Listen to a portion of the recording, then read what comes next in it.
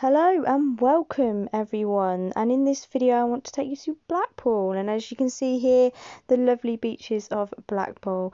And you may have seen earlier this year on the 17th of July a fire broke out on the central pier. Um, there is some information if you want to google it it will tell you all about it.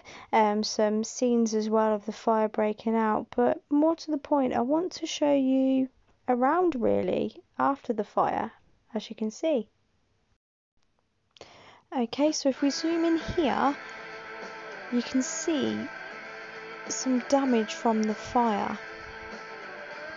Taking you just round, so they haven't quite yet rebuilt the uh, uh, pier yet, but there is signs of damage from the fire. Um, as you can see, as I take you sort of around the pier really and you'll just see if I take you back to the top there's actually holes in the flooring still again caused by the effects of the fire. So still not quite repaired but in process of you know getting this done. And it's crazy to think that this pier has actually stood uh, since the 1800s um, a long time really when you look at it and the structure. Um, very, very iconic. One of Blackpool's iconic uh, piers. You've got North Pier, you've got the Central Pier, so you've got the South Pier. But look at this as I'm taking around here. So again, some uh, uh, damage uh, caused by the fire, and little overview here of the other side of the pier.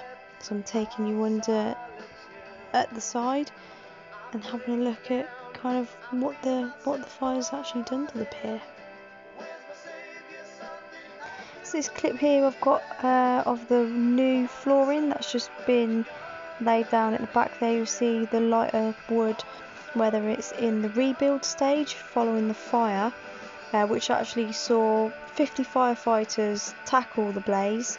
Um, with about 10 fire engines, so they were lucky that they didn't have a strong wind um, uh, at that point when they're tackling the fire. But you can see here there's still some holes where the damage of the fire has taken place and um, caused those marks on the pier.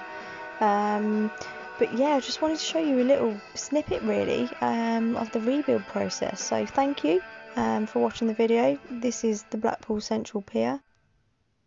And if you've liked what you see there in this video, don't forget to hit that like button and that subscribe button. And uh, some more content will be coming soon for you. Thank you very much.